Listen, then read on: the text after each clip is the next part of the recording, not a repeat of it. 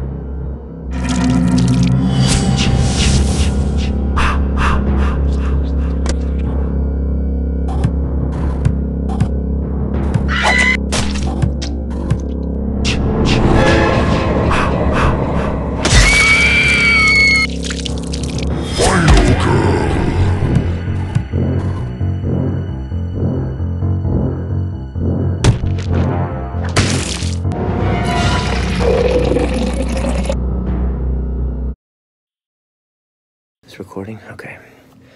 Hi, um, my name is Neil Patrick Harris. There's a website, it's an organization called the Mysterious Package Company.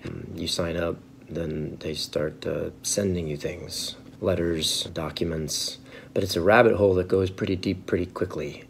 If you're interested in the Mysterious Package Company, know this. They